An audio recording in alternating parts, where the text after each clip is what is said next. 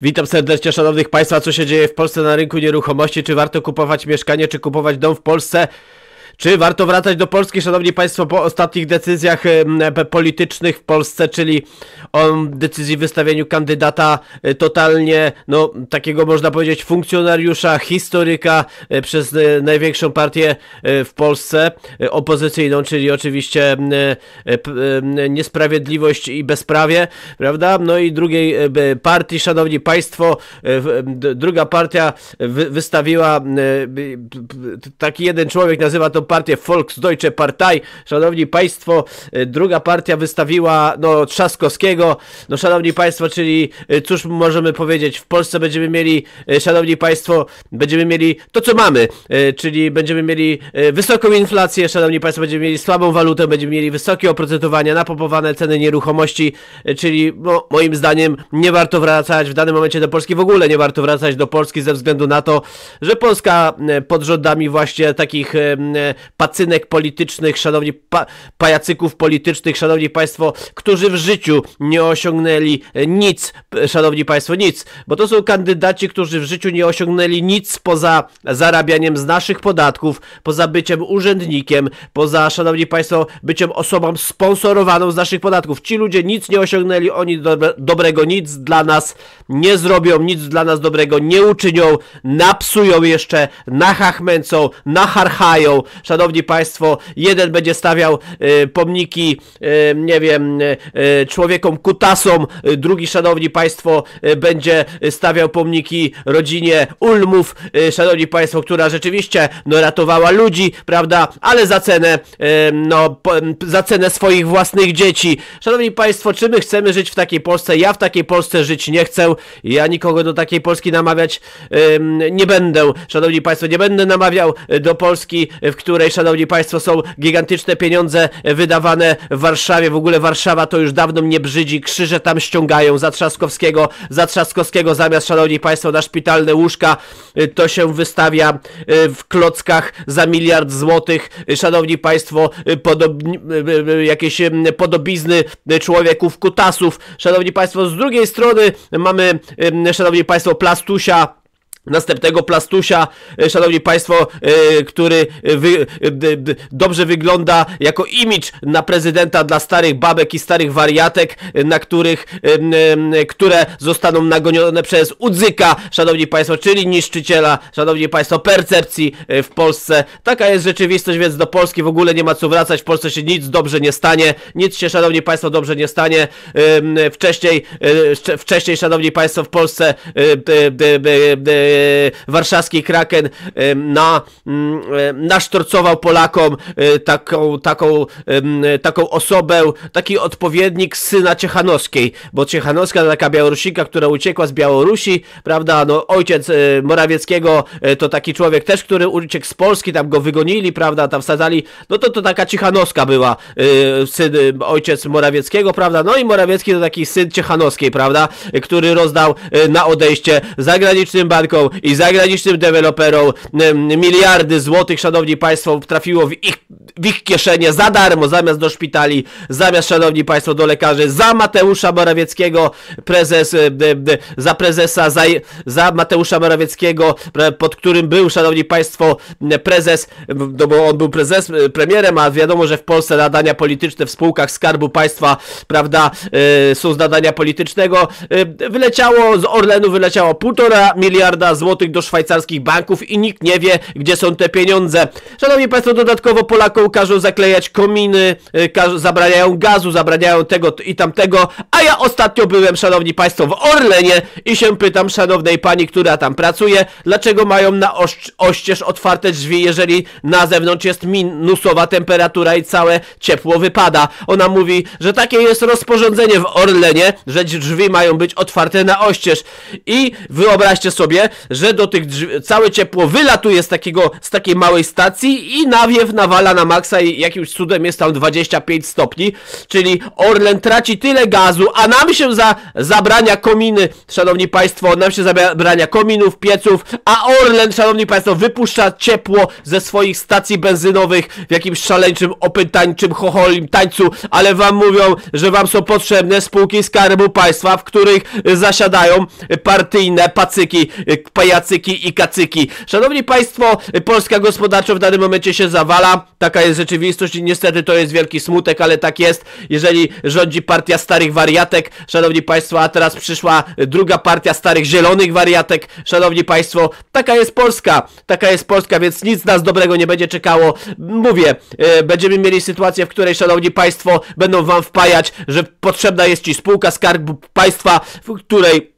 partyjny kacyk zarabia miliony złotych rocznie i inne partyjne kacyki, którzy zakazują wam, za, nakazują wam nak zaklejać kominy w kraju, w którym jest minus 20, a sami, a sami mają otwarte drzwi na oścież na swoich stacjach benzynowych i główny asortyment na tych stacjach benzynowych, czyli spółce Skarbu Państwa, to jest alkohol i papierosy. No, Polacy sobie nawet dali wmówić, że spółka Skarbu Państwa ma sprzedawać alkohol na masową skalę. Alkohol, papierosy, wódę, yy, szanowni państwo, a także konkurować z polskimi rodzinami w sprzedaży kanapek. Tak jest, szanowni państwo, nawet spółki Skarbu Państwa sprzedają teraz kanapki, pizzę i tak dalej, i tak dalej. I to, i oni wam wmawiają, że to jest dla was dobre. Szanowni państwo, Polska, dlatego w Polsce w danym momencie mamy najwyższą inflację w Europie. Najwyższe oprocentowanie kredytów hipotecznych w Europie. Prawie najsłabszą walutę w Europie. Y, jedną z najgorszych sytuacji demograficznych w Europie, największą emigrację z Polski, szanowni państwo, a w zamian przysyłają nam dziesiątki tysięcy defetystów z Ukrainy, którzy nam, nas namawiają, abyśmy walczyli z, z Moskalami, szanowni państwo, tysiące Gruzinów, ciągle słychać ilu, ilu złodziei, kto tych złodziei tu wpuszcza? Przecież to nie są, jak oni tu wjeżdżają ci Gruzini złodzieje? Wszędzie słyszymy jakiś Gruzin tu złodziej, złodziej, tam złodziej. Skąd oni się w ogóle biorą? Jak oni tu w ogóle wjeżdżają, ci złodzieje? Ja, ja nie wiem, tyle ich jest, prawda? To, co się w danym momencie dzieje, to jest skaranie boskie, szanowni państwo. Polska się rozpada, no ale tak jest. Jeżeli macie u władzy y, syna Ciechanowskiej, szanowni państwo, y, albo jakiegoś dziwoląga, y, któremu, szanowni państwo, towa wieczorami towarzyszy kotek, szanowni państwo, to, co się dzieje w Polsce w danym momencie to jest rozpad totalny, ale no oczywiście, no bo ludzie pytają, czy będzie dobrze. Taki nowy prezydent, albo taki, czy będzie dobrze. No Warszawa, przecież tak wygląda. No tak, jak wygląda ta Warszawa? Co wygląda ta Warszawa? Normalnie wygląda, a widzieliście jak Bangkok wygląda? A widzieliście jak wygląda Hongkong, a widzieliście jak wygląda wiele innych miast Azji. Warszawa y, jest śmieszna wobec tych, y, szanowni państwo, y, miast, prawda? Więc Warszawa po prostu jest Warszawą, ale ja już dawno po tych latach patrzenia na to, co robił Trzaskowski z Warszawą, ja jestem za tym, aby, szanowni państwo, stolicę Polski rozparcelować na, cało, na całą Polskę, prawda?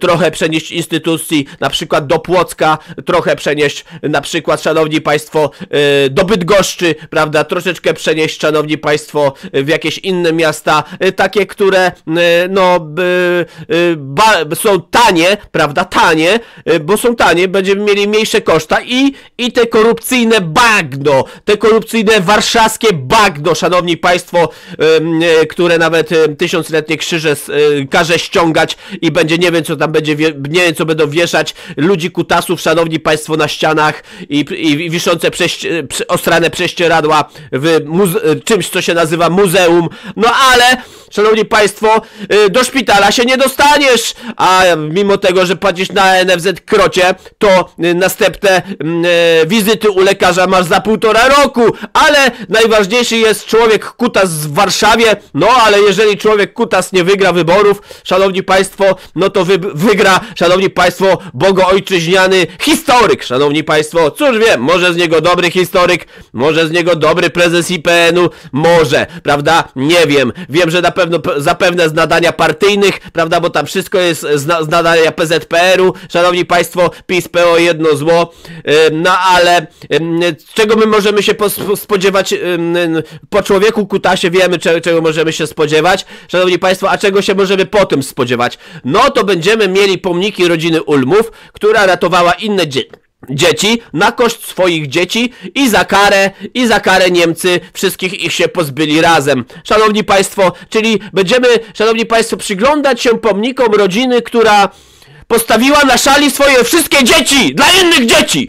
Szanowni Państwo, tego będą nas uczyć y, bogoojczyźniani pisowscy, y, banda popapranych typków. Oczywiście historia rodziny Ulmów jest wzruszająca y, i jest naprawdę, musimy o niej mówić, ale mówmy jak jest, Szanowni Państwo. To rzeczywiście przykra historia, Szanowni Państwo, ale żeby pokazywać, że Ty masz swoje dzieci posłać, no tak ryzykować swoje swoimi dziećmi, szanowni państwo, to jest... Yy, to jest przerażające, szanowni państwo, to jest po prostu przerażające, jakie bałwany, idioci i kretyni nami rządzą, a jeszcze większe bałwany, idioci i kretyni ich słuchają i na nich głosują.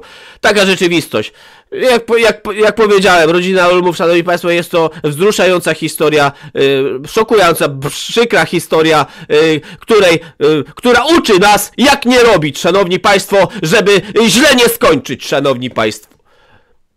Tak jest, szanowni państwo. Kto wam to powie? Ten historyczyna? To wam powie? Słuchajcie, popatrzcie, tak zrobili, robili i tak skończyli. Czy to jest właśnie, yy, czy to, czy tak mają kończyć polskie rodziny? A może mamy się wszyscy zamienić w człowieka kutasa za miliard złotych?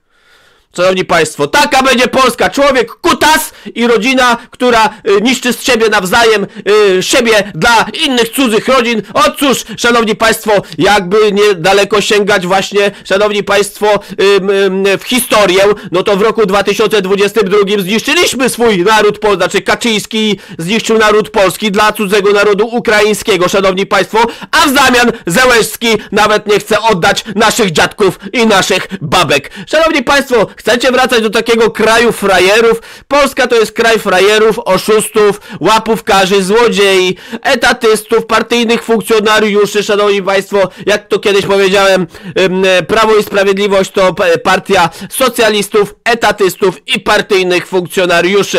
Szanowni państwo, e, będziecie mieli pomniki człowieków kutasów, szanowni państwo, no albo przykładem, przykładem życia rodziny będzie rodzina Ulmów, która skończyła niestety tragicznie. Chciała dobrze, ale skończyło się źle. A wiemy, jak mówi nasze starożytne y, polskie przysłowie, szanowni państwo, y, dobrymi chęciami jest wybrukowane piekło! Szanowni państwo, ale przechodzimy dalej, y, no bo wiecie, tutaj dużo można gadać, no to pokaż, no to pokaż, mówią, ale zanim przejdę dalej, szanowni państwo, chciałbym nawiązać właśnie do tego Orlenu, w którym na oścież otwiera się drzwi, woda się zwylewa, fajki wypadają, szanowni państwo, wmawiają wam, że spółka Skarbu Państwa wam jest potrzebna, szanowni państwo, w sytuacji, gdy ona sprzedaje alkohol, fajki i wypuszcza ciepło na świat, ale wy macie zakleić sobie kominy, frajerzy. Szanowni państwo, no ale ale, ale, właśnie, ale zrobili górale. Szanowni Państwo,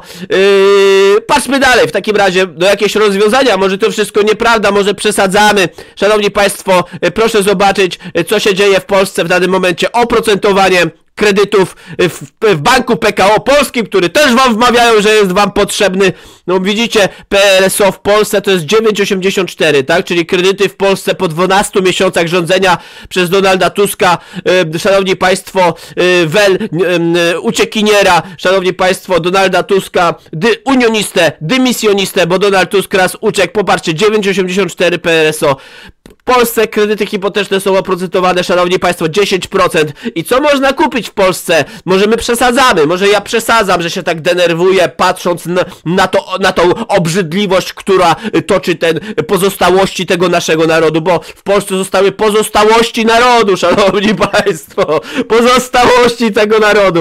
Wszyscy stąd pojadą i przyjadą do was Gruzini, którzy będą was okradać razem z Ukraińcami, bo z tego co wiemy, 70% szanowni państwo, złodziejów złodziei w gdańskich dyskontach, w trójmiejskich dyskontach. 90% złodziei to ludzie spoza Unii Europejskiej, a w tych e, 90% 70% to Ukraińcy, reszta to podobno tam Gruzini i czasem przyda, zdarzą się jacyś e, inni e, tutaj przybysze, no ale to już jest e, skrajny przypadek, prawda? No i tak to właśnie jest.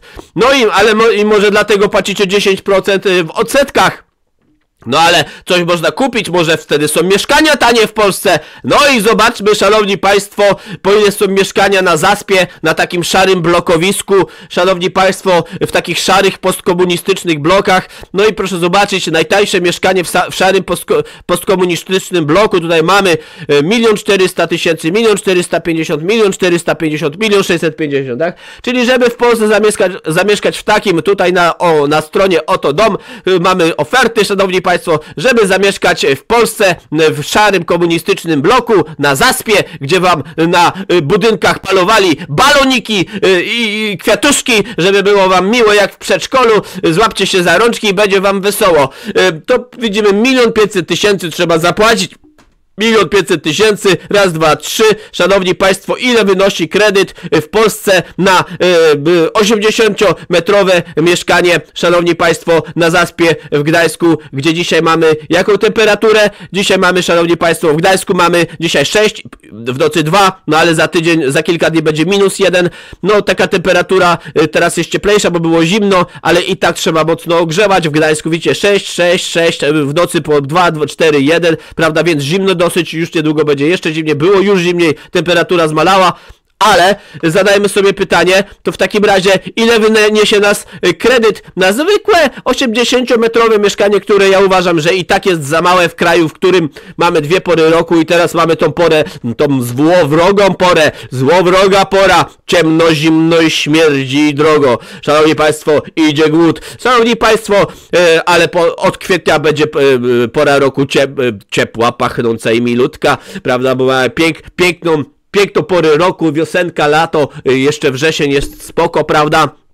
Kilka dni października, no to pół roku mamy pięknie, ładnie, pachnąco, cieplutko, wspaniale, zieloniutko, prawda? A czerwiec to jest mój ulubiony miesiąc, bo wtedy tak wszystko, szanowni państwo, czuję się jakbym był w jakimś raju w Polsce w czerwcu, prawda? Bo wszystko takie zielone i pachnące jest. No ale, szanowni państwo, yy, zobaczmy, ile w takim raju trzeba zapłacić, żeby zamieszkać, no ale w tym raju trzeba przez pół roku przezimować, zawsze niczym niedźwiedź, bo jest ciemno, zimno i śmierdząco, a dodatkowo drogo. No w raju na zaspie szanowni państwo, w, w, w postkomunistycznych blokach w pomalowanych w baloniki, szanowni państwo, ile zapłacimy raty?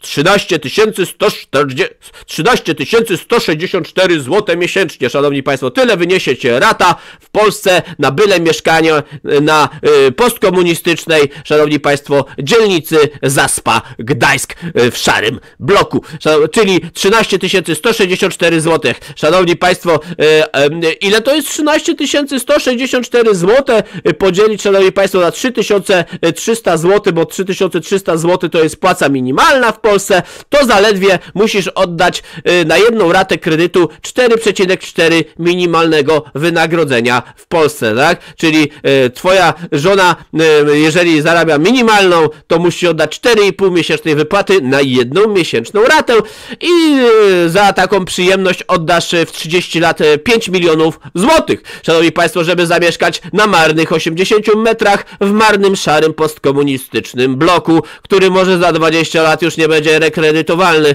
i nawet tej nieruchomości nie sprzedasz. Szanowni państwo, no ale, szanowni państwo, wel uciekinier, unionista, dymisjonista Donald Tusk, szanowni państwo, może zniszczyć polskiego złotego, bo dzisiaj mamy sytuację, w której inflacja szaleje w Polsce. Szanowni państwo, mamy najwyższą inflację, rośnie, mamy zawalającą się walutę, teraz się troszeczkę troszeczkę umocniła z, te, z tej zapaści, ale i tak jest słaba. I mamy, szanowni państwo, bardzo złą sytuację społeczną. Do Polski przyjechało dziesiątki tysięcy defetystów, szanowni państwo, a także ludzi, którzy do tutaj podpalali te rzeczy, wszystko, prawda, nawpuszczali bandytów do Polski, szanowni państwo. Ehm, no niestety, a dodatkowo jeszcze dziesiątki tysięcy złodziei przyjeżdża do Polski, okradają nasze sklepy, szanowni państwo, na masową skalę. Tego nigdy w Polsce nie było. Kiedyś w Polsce było duże złodziejstwo, ale to my sami siebie okradaliśmy, a dzisiaj okradają nas inni. Szanowni Państwo,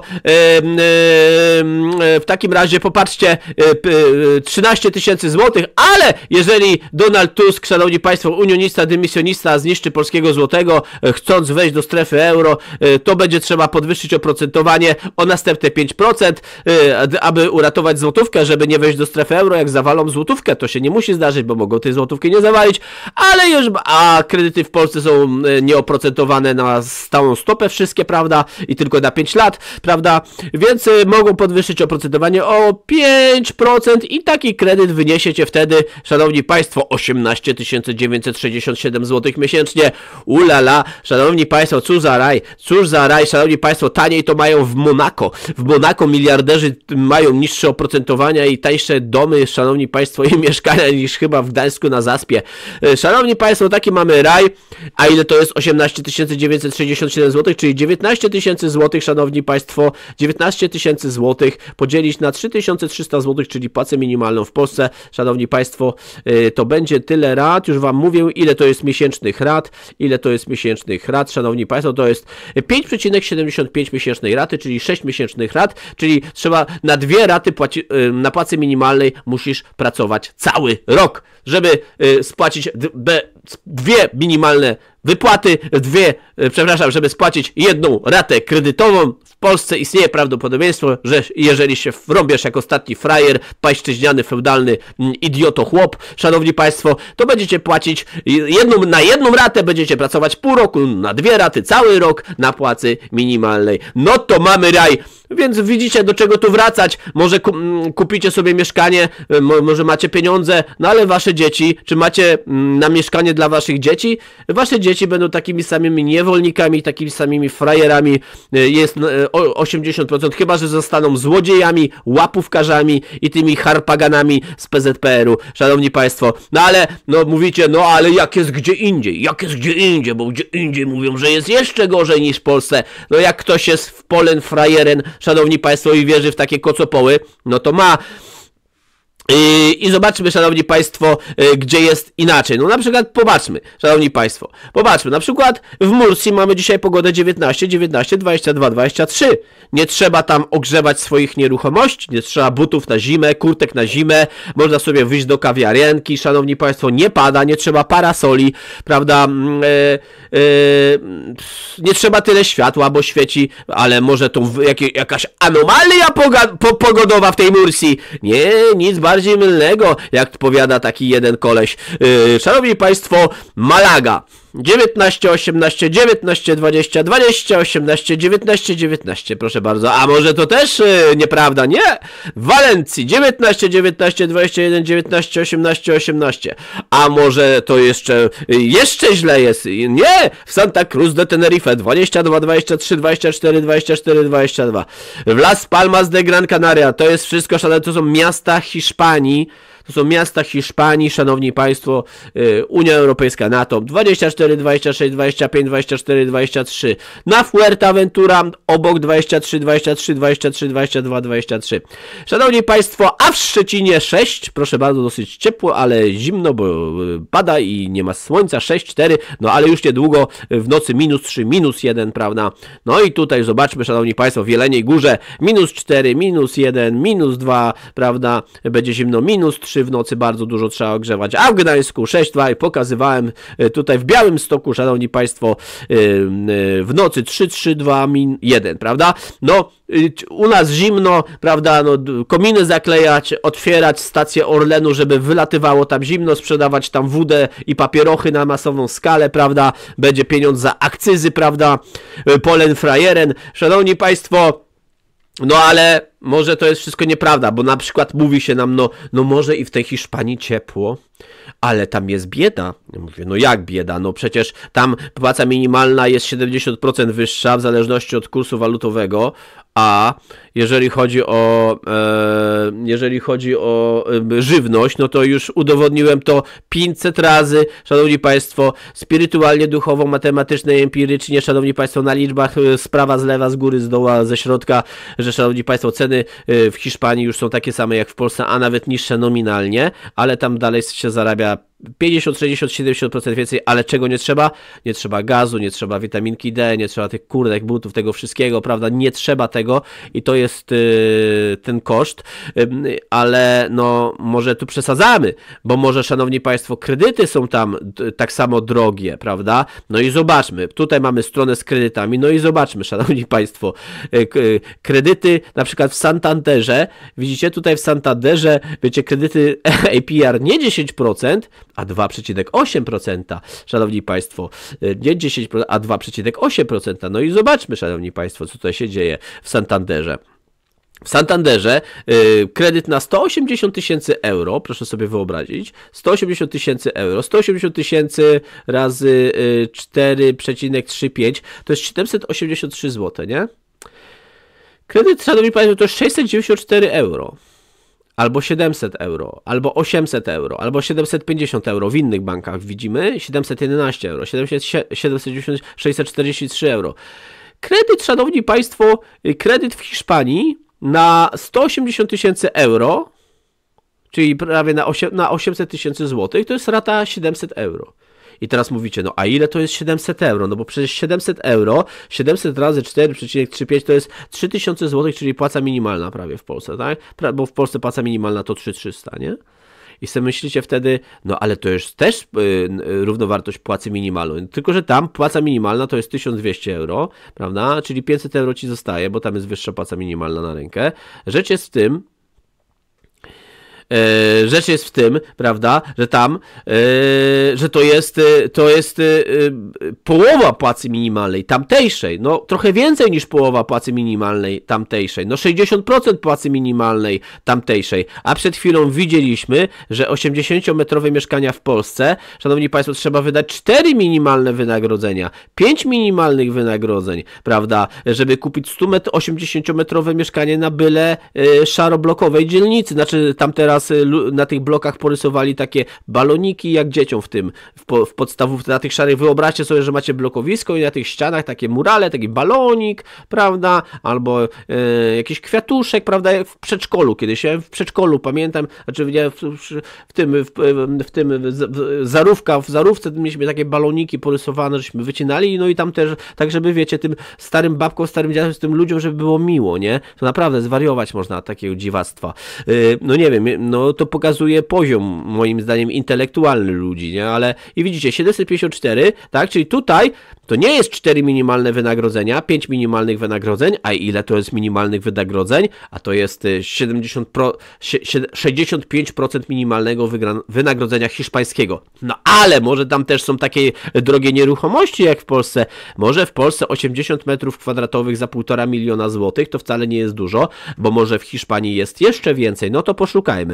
Ja tutaj zaznaczyłem specjalnie ten rejon, w którym dzisiaj jest ciepło, żeby nie było trzeba e, ogrzewać i oświetlać zbytnio i nie kurtek na zimę tego wszystkiego zasraństwa, prawda? No i zobaczmy, ja tylko wszedłem w nowe nieruchomości w nowym, bo moglibyśmy wejść w stare, ale wyjdziemy w nowe, bo tutaj te zagraniczne korporacje zaczęły tak używać e, takiej metody do niszczenia prawdy, prawda, że Polacy byli idiotami, kretynami, frajerami, prawda, U używali takie metody, no to są rudery, no to, że i Polak się nabierał, że to rudery są, bo w Polsce jakby, jakby szary blok to by nie był rudera, szary blok w Hiszpanii to rudera, a szary blok w Polsce to nie rudera, bo narysowali tam trzy baloniki na nim, nie, no właśnie no to pokazujemy, szanowni państwo, nowe budownictwo od ostatniego czasu, pokazuje mm, dużo e, nowego budownictwa, czyli od dewelopera, prawda? Ja powiedziałem, ja nie jestem e, wrogiem deweloperów czy wrogiem banków, nie jestem, prawda? Ja jestem tutaj po to, żeby pokazać moim klientom, moim słuchaczom, co jest tanie i co może się opłacać. Ja w ogóle mam wielu przyjaciół w bankach, prawda? I i deweloperów. Ja nie, ja tutaj widzicie, tu też pokazuje deweloperów, tu pokazuje banki, hiszpańskie banki. To chodzi o to, że pokazuje, jakie są różnice, ile w Polsce trzeba płacić, a ile na przykład się płaci w Hiszpanii, prawda? Jakim trzeba być frajerem, żeby akceptować to, co się dzieje w Polsce, prawda? No i proszę zobaczyć. Tutaj mamy, szanowni państwo, Tutaj mamy nowe nieruchomości w Hiszpanii, proszę bardzo, i proszę zobaczyć, one są po 80-90 tysięcy euro. 80-90 tysięcy euro, ale przyjedźmy sobie dalej, znajdźmy sobie coś po około 100 tysięcy, czyli 440 tysięcy złotych, tak? 435 tysięcy złotych w danym momencie. I popatrzcie, cała masa nowych, pachnących nieruchomości, skończonych już z kafelkami, bo tam, bo tam się nie oddaje stadu surowego, bez kafelek, bez, tam się oddaje, większość tych nieruchomości, jak nie wszystkie, oddaje się, yy, szanowni państwo, yy, w stanie yy, wykończonym, czyli macie podłogi, ściany, nawet, nawet wam wstawią tam pralki i takie tam rzeczy, no nie? I popatrzcie, o i tutaj, bo ja z basenem czegoś szukałem, no i tutaj macie, patrz, patrzcie, Tutaj na przykład basen, nie? Popatrzcie. Basen, popatrzcie. Basen. Macie swój własny basen. Basen, tak? Ciepło, 20 stopni. No i popatrzcie, 71-metrowe mieszkania po 110 tysięcy euro. Na 3%. Popatrzcie. Takie mieszkanie was tam kosztuje 500 tysięcy złotych niecałe. Popatrzcie. Takie. Już skończone prawdopodobnie te. Rozumiecie to? I to jest 71 metrów z takim tarasem, z basenem, z trawnikiem. Popatrzcie, takie mieszkania tam się sprzedaje za 500 tysięcy złotych. Tak? Ja mówię, prawda, tu też przecież deweloper. Przecież ja lubię deweloperów, ja nie mam nic do deweloperów, żadnych. Ja nie mam nic do banków, prawda? Są, bank sam w sobie nie jest zły, deweloper nie jest w sobie zły. No. Złe są złe decyzje ludzi, którzy dają się nabierać co niektórym bankom, co niektórym deweloperom bezsensownie, prawda? Ale to widzicie? Popatrzcie, patrzcie. Jak w hotelu. Jak w hotelu. I to kosztuje, takie nieruchomości tam kosztują ile? 110 tysięcy euro. I widzicie? A tu jest 180 tysięcy euro kredyt to ile to by było, szanowni państwo, popatrzcie, to ile by to było, ile by wynosił kredyt? 110 tysięcy euro. 110 tysięcy euro, raz, dwa, trzy. Wyobraźmy sobie, że wpłacamy sobie 20 tysięcy, tak? 20 tysięcy, czyli zaciągamy na przykład 90, zaraz e, pewnie wyskoczą e, za 100 tysięcy kredyty, czyli bez 10 tysięcy, no ale jak coś wystawione za 110 tysięcy, to dyszkę to sobie e, z palcem, że tak powiem, w uchu ubijesz, no nie? Taka jest rzeczywistość. I, trzeba, I popatrzcie, ile wynosi rata kredytowa na taką nieruchomość? 400 euro, 373 euro, 447 euro, 337, 470, 517 euro. I wiecie, i ile to jest? To jest jedna trzecia płacy minimalnej w Hiszpanii. Czyli żeby w Hiszpanii w cieple z basenem zamieszkać na 80 metrach, musisz wydawać około 10 dni 12 dni na płacy minimalnej. Jedną trzecią miesiąca pracujesz na ratę kredytu na takowe mieszkanie, które przed chwilą pokazywałem. Na takie, tak? Na płacy minimalnej zarabiasz na takie mieszkanie 10 dni. A w Polsce na takie mieszkanie na zaspie w Gdańsku 120 dni. A jak pójdą oprocentowania do góry, to będzie 200 dni. Y, pół roku na jedną ratę. Pół roku. Pół roku, czyli 30, 30 razy 200 dni. I w Polsce zarabiasz na ratę kredytu na takie mieszkanie 200 dni, a w Hiszpanii 10 dni. Czyli Polak płaci 20 razy więcej, plus musi to ogrzewać. Zrozummy to, szanowni państwo, taka jest sytuacja w Polsce. Zapraszam do rozpowszechniania. Pokażcie to swoim znajomym. Pokażcie. Pokażcie to. To jest wszystko, pokażcie to swoim znajomym, pokażcie to swojej rodzinie, udostępnijcie to na swoich social mediach, na Facebooku, na X, prawda? Udostępnijcie to. Niech ludzie będą mądrzy. Zasubskrybujcie ten kanał, żebyście wiedzieli więcej, co się dzieje na świecie. Kliknijcie łapeczkę w górę, dajcie fajny komentarz, porozmawiamy co się dzieje na świecie. Dziękuję, pozdrawiam, do usłyszenia już wkrótce. Cześć.